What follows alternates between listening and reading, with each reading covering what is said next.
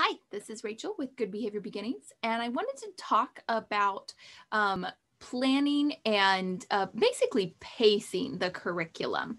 So, this isn't going to be about which ones we're planning, but it is going to be like once you've selected your curriculum, how we are going about to pace ourselves through the year so that we finish with what we wanted to finish on time.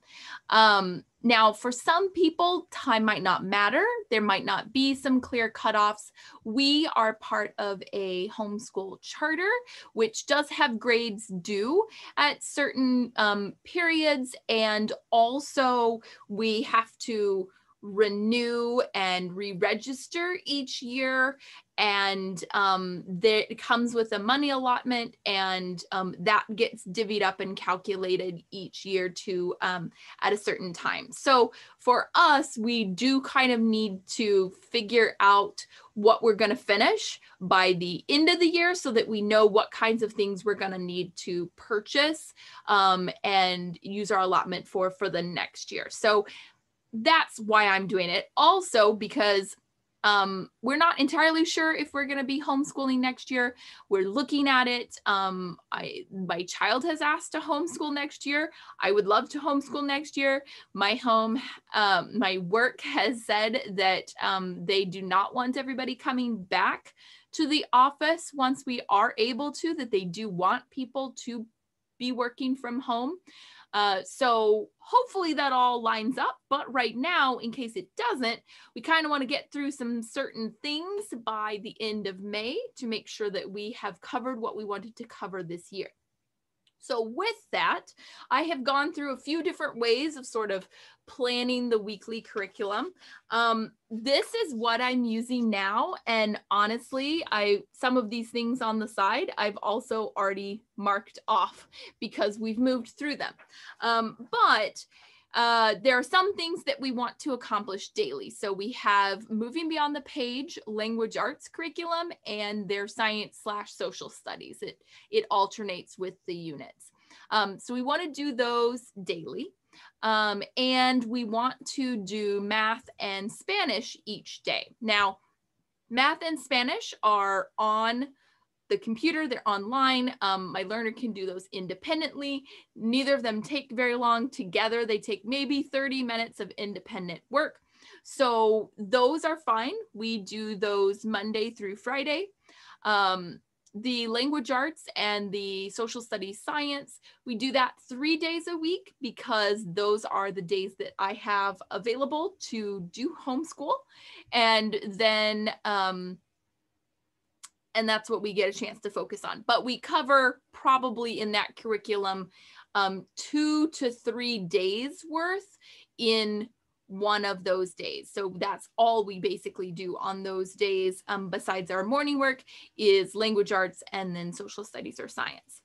Um, so I had these divided up as like daily and then as much as possible and then weekly. So the as much as possible, um, those are things that are sort of in our morning work. But if for some reason we need to skip morning work or we need to move the schedule around a little bit, um, things like that when I have earlier meetings and we have to cut our school time short.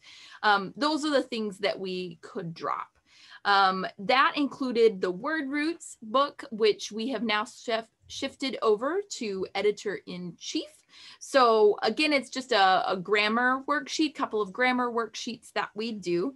Um, cursive practice, which um, previously was working on the cursive letters, and now we have incorporated cursive into answering the question of the day, which is one of the flashcards that we do. So we have um, uh, five different sets of flashcards. One of them is a question of the day. And so now my child is writing out their answer in cursive instead of just answering the question out loud. Um, and then at the bottom, we have weekly. So these are things that we want to make sure we get to at least once a week. Um, that is art, the geography and culture and science and all of those are from the blossom and root curriculum that we're using. We started using their language arts curriculum until our um, moving beyond the page curriculum arrived and there are a couple of units that I have flagged for us to be able to um, go back to if we have the chance, but it's not necessarily something that we have to get to because we do have a language arts curriculum. Um, and then the other weekly thing is one of our subscriptions. So we have subscriptions to Sankofa Club, which is on Black History, um, Atlas Crate, which is a different kit for a different country and comes once a month. And then we have the highlights uh, top secret adventures, which is um, it comes with a book and an activity booklet about um, an, a country as well. So we want to hit those again weekly. Um, so that being said, this is what I've been using basically for the last semester. Um, and then each of these columns going down is going to be um, what we're actually doing for that week. So for example, um, this was when we uh, came back in January. Um, the uh, language arts and the science social studies um, it's uh now I can't remember what the C um concept. There you go. Concept three, unit one. Um, and then when we need to switch those, we usually spend about a month or so on those. Um, and then for math um, and Spanish, if we had anything extra that we wanted to do or instead of.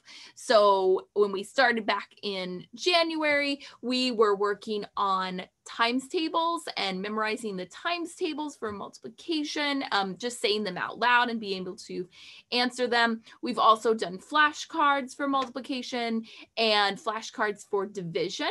And those are things that we might do either instead of math online or in addition to the math online. And then Spanish, same thing. If there's something in particular um, that we wanted to do in addition or um, or in place of the online, then that's where I would write that down. Um, oh, I also have on as much as possible the United States. Um, we did state flashcards in the first semester. We then learned over winter break, we learned the 50 states that rhyme song. Um, and now we are working on labeling the states on a map of the US. And so we had a book, Draw the US States, that we have now at this point worked all the way through. Um, and then also have some blank maps that we are revisiting um, and uh, having the learner write which state goes where with the idea that hopefully um, by the end of the year we'll be able to place all the states in the right spot is the goal. Um, and then at the bottom, we also have like Wonder. Um, so Wonder 17 and 18. So we wanted to cover two of them. Um, Wonder 17 here, Wonder 8 and 9 here. And then we're going to do an Atlas crate, that sort of thing. So we just wrote out which ones we're going to do. Um, some of them I uh, combined together, especially with the art and the geography. Some of those fit well. Um, they were shorter lessons and they could be combined together. Um, we actually have finished the geography portion of um, Blossom and Root, and we are very close to finishing the art uh, curriculum, but we still have ways to go with science. But we doubled up on some of those science lessons to make sure that we can get through the end, which sort of brings me to the pacing. How do we pace it out? Um, for some things like uh, the math, which is online, I looked to see how many lessons there are and how many days we have left and just math it out to make sure that we have enough time to get through those and how much wiggle room we might have. So if we know we're going to, I'm aiming to just finish early with some of these things. So by May, maybe we're only doing a couple of um, lessons still and we just aren't having to do as much um, as opposed to just jumping straight into the next thing we are going to take um, a bit of a summer break from more traditional academics and we're going to do things that are not going to look too much like school. So uh, for us, there will be a shift there. Um, for the science with Blossom and Root, we actually did an additional unit on dinosaurs in the fall. So we started the third grade curriculum and then we did the additional dinosaurs unit and then we're going back to the third grade curriculum. So we have a lot more content than we had weeks. Um, even if we had done one, um, follow their pacing and done like one a week or whatever. Um, so instead, I went through and I looked, okay, what do we want to cover all these things? Are there any things that we want to skip? Um, I did feel like we wanted to cover all of them. The ending of this curriculum talks a lot about the environment and ecology and how everything is connected. And I felt like that was really important and would be really good for spring. So we're going to spend time on that. So in order to get there, we doubled up with a lot of the animals as we worked through um, those sections, um, which also I think went okay. Um, my learner was super into the dinosaurs, so we did a lot of stuff with the dinosaurs, not as much into the animals um, in particular, but we still want to kind of connect everything and and build up um, how everything is interconnected. So we have that, um, but we're combining some things. So like there were um, bony fish and boneless fish, right? Well, we did both of those at the same time. You know, we'll learn about both of them. Um, now we're getting to the point where the rest of the science will be one wonder, one topic a week. And that way we'll be able to go into it in a little bit more detail um, because we want to be able to go into more detail. Um, same thing with like the art. The art, some of them just really fit together pretty well. It didn't make sense for our child to spread them out.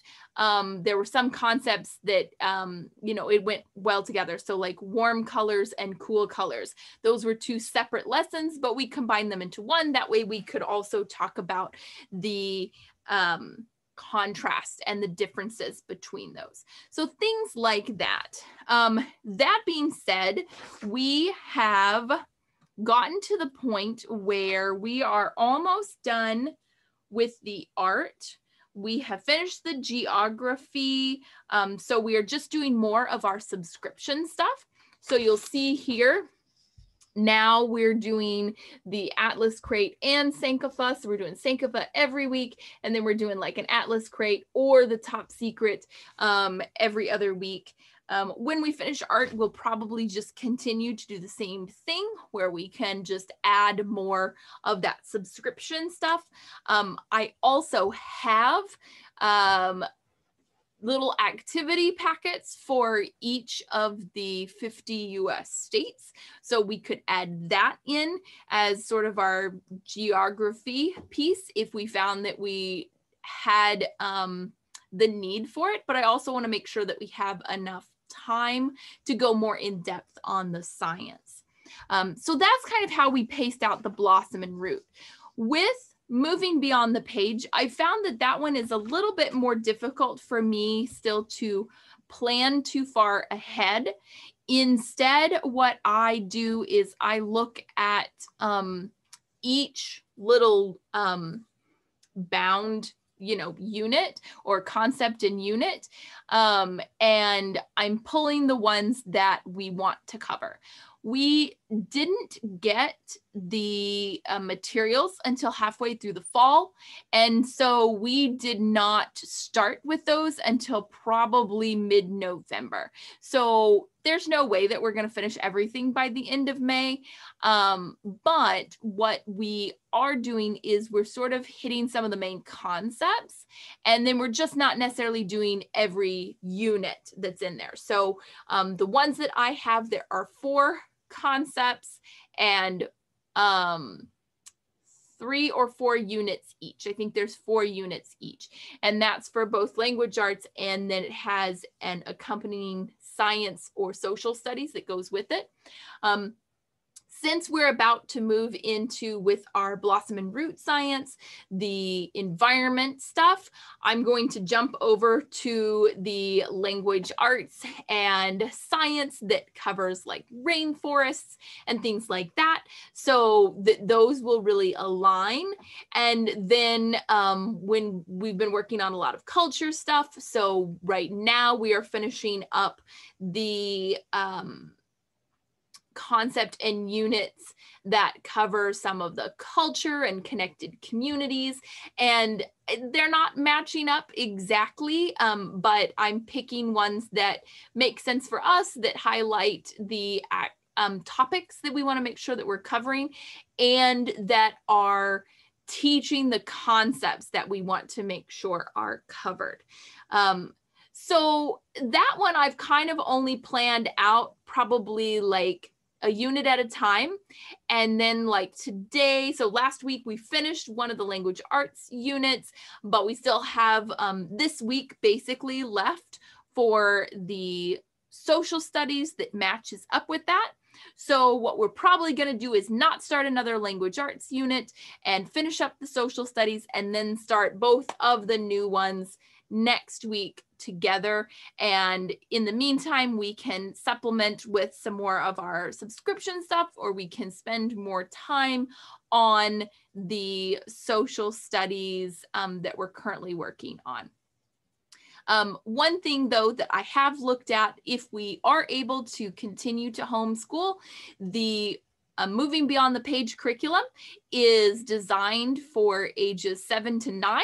My learner is eight, so they will be nine for the next year, which means that it would still probably be appropriate. And so we are still going to pull from some of those and can use those the next year without having to order additional curriculum. So for us, that will work out just fine. And um, if uh, someone was on a budget that also might work out well that if they're have a lot of other things that they're supplementing or they're just not moving through them as fast that they have sort of like a, a two year window when they are appropriate. So you could continue to use them and spread it out a little bit longer so anyway, that is how I have done the pacing, how we are trying to wrap things up and time things so that they wrap up at the end of May for our school year.